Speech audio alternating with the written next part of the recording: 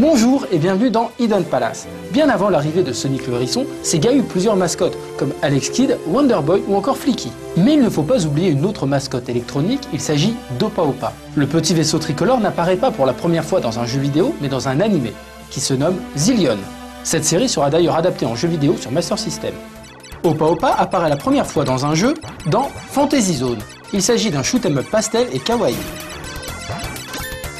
Le vaisseau se déplace latéralement. Il est aussi possible d'aller vers la droite ou vers la gauche, chose assez rare pour être soulignée.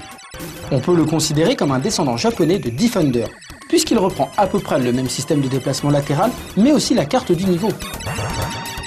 Dans Fantasy Zone, il faut détruire toutes les sentinelles avant de combattre des boss gigantesques. Au début du jeu, le joueur dispose d'une bombe et d'un double tir, mais il pourra aller au magasin pour acheter moultes items allant du laser à la bombe Seston. Avec son ambiance colorée et son humour, le jeu rencontra aussitôt le succès et connut un portage sur Master System qui assoira la renommée du petit vaisseau spatial. La qualité d'adaptation est vraiment exceptionnelle pour une console de cette puissance, et on a parfois l'impression de se retrouver face à la version arcade. Le jeu connaîtra plusieurs adaptations, dont deux sur console Nintendo, ce qui fait quand même beaucoup pour un jeu Sega.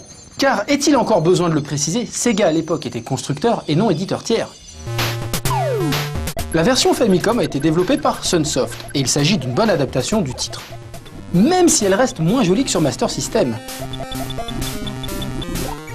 La version NES, elle, sera développée par Tengen, et dès la jaquette, on comprend que la qualité ne sera pas au rendez-vous. Une espèce de Opa Opa angulaire et chromé annonce la couleur. Et on se retrouve devant un Fantasy Zone pas terrible terrible. La suite ne se fera pas trop attendre, car en 1987 sortira Fantasy Zone 2 The Tears of Opa Opa. L'univers est toujours aussi acidulé. Bien entendu, ce jeu connut également une suite sur Master System, dans une version une fois de plus très fidèle. Opa Opa reviendra un peu plus tard dans Fantasy Zone The Maze. Un épisode qui tranche radicalement avec ce qui a été fait avant, puisqu'il ne s'agit plus d'un shoot 'em up à proprement parler, mais plus d'un clone de Pac-Man. Opa Opa doit attraper des pièces disséminées dans chaque tableau. Et le succès de la version Master System fut au rendez-vous grâce notamment à son mode de joueur. Viendra ensuite un épisode Game Gear qui renoue avec les origines mais qui a son caractère propre. Il a été développé par Sanritsu, ce qui explique cette petite différence. Les graphismes sont un peu plus réalistes.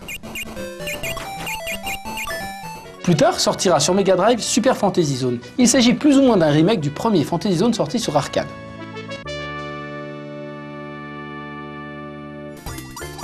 Les mondes et les boss sont pourtant différents. Le jeu est logiquement plus beau que son grand frère.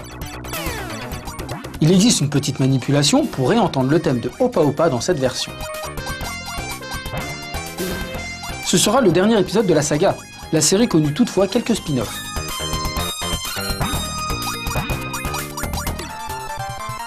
Galactic Protector, sur Sega Mark III, n'est jamais sorti en Occident car il se joue avec le pad AMOLED de la console. Dans ce jeu, le joueur doit stopper les assauts rivaux avant que la planète ne soit envahie par les monstres. À part les vaisseaux, on ne voit pas très bien le rapport avec l'ambiance de Fantasy Zone. Sur la jaquette de la version Game Gear de Kinetic Connection, on voit apparaître des petits Opa Opa. Et pourtant, dans le jeu, on n'en voit pas tant que ça. Ce jeu fleure bon le jeu de taquin, et lorsqu'on laisse la console tourner sans rien toucher, des petits Opa Opa viennent aider le joueur. Un épisode PC Engine devait voir le jour sous le nom de Space Fantasy Zone. Bien qu'une version pirate circule sur internet, le jeu n'est jamais sorti. Le jeu devait se jouer à la troisième personne et ainsi profiter d'une immersion encore plus complète à la manière d'un Space Harrier. Pour la petite anecdote, quelques Français s'étaient réunis pour pouvoir se payer une des rares versions bêta du jeu. Le vendeur japonais refusa longtemps de se séparer de sa pièce de collection, pensant qu'une fois acquise, cette version serait distribuée en copie illégale sur le net. Et ça n'a pas manqué, car peu de temps après, on pouvait trouver ce disque en copie sur le net renforçant encore plus la réputation médiocre des Français. Mais n'épiloguons pas trop et passons quand même à la suite.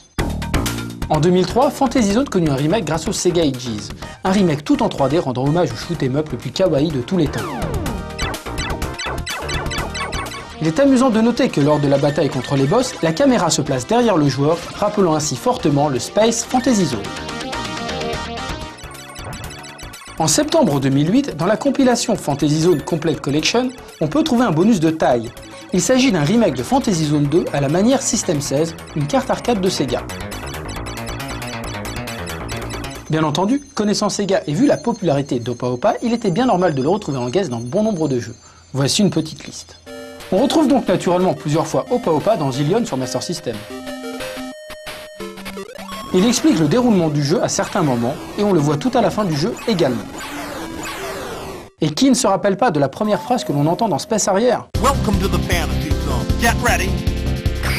Ce qui nous laisse supposer que Space Harrier et Fantasy Zone sont dans le même univers, une affaire à creuser. Il apparaît également dans Flashpoint, un puzzle game de Sega où il vient souhaiter bonne chance aux joueurs. Mais si on regarde bien l'arrière-plan, on s'aperçoit qu'il s'agit du même que dans Fantasy Zone. Dans Quartet, il accompagne Alex Kidd et Teddy Boy dans le sound test.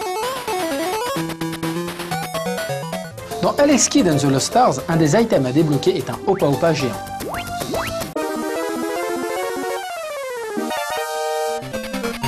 Dans Tom et Jerry The Movie, sur Master System et Game Gear, on peut trouver des affiches avec Opa Opa dans le monde 3. À la fin de Golden Axe, on peut trouver des bornes où sont marqués Opa Opa et Pao Pao, un clin d'œil beaucoup plus dissimulé. Mais des fois, ce sont juste des musiques de Fantasy Zone qui s'incrustent dans d'autres jeux. Dans Alex Kidd in High Tech World, on peut écouter l'OST de Fantasy Zone sur son tourne-disque.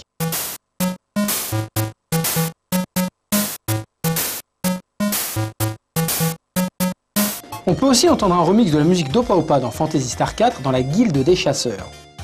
Cette musique s'appelle d'ailleurs Pao Pao dans le sound test. Mais Sega avait l'air de bien apprécier la musique de la boutique de Fantasy Zone, car on la retrouve également dans la boutique de Super Hang-On sur Mega Drive.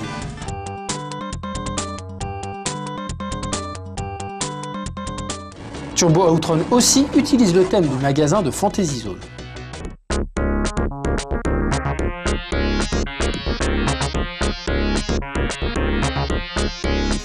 Que l'on retrouve également dans GP Rider sur Game Gear.